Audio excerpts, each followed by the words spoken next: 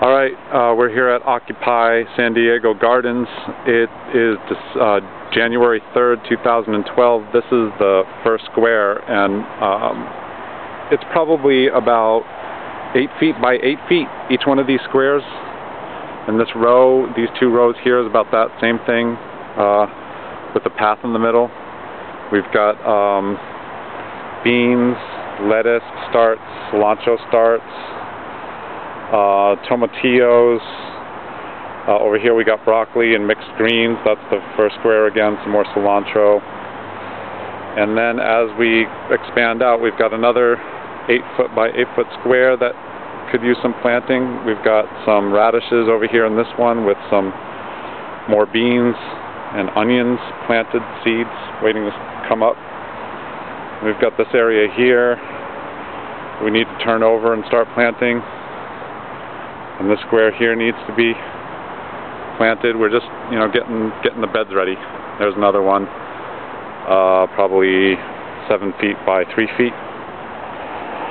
And uh, that's this is the. Uh, oh, then sorry, I forgot about this area. We've got some uh, good compost here that we can spread around. We've also got these um, spots on the hill that receive really nice sun all throughout the day, so we got to plant those too. So lots of work to do here, but uh, we've got it started and it's growing. And uh, people just show up and uh, check in with me. Darnell has uh, come several times. He's helped us out here. How you doing, man? Good, good. We're going to have a permaculture teach-in here soon, aren't we? Yeah, looking forward to it. Yeah, I think so too. I think it'll be fun. We'll get some of the master gardeners in San Diego here to um, teach about permaculture, huh? Yep. Um, as far as I know, Marsha Barita, and then you mentioned uh, who else? Uh, Paul, the master gardener here. Yeah. Cool, cool. And uh, I think we could get some people maybe from Suzie's farm or something like that. Yeah. And uh, you, of course, you just finished a course, didn't you? Yeah, yeah. So you're you're learning a lot, and you got a lot of knowledge to share. Ah, uh, I still need to learn yeah, I got I got the basics. hey, that's what you need, though, right? Enough to play with. Yeah, definitely. All right, so um, please uh, check in with us if you want to get on the mailing list. Uh, just leave a comment here on uh, the on the blog. Um, occupy San Diego Gardens.blogspot.com. Thanks for watching.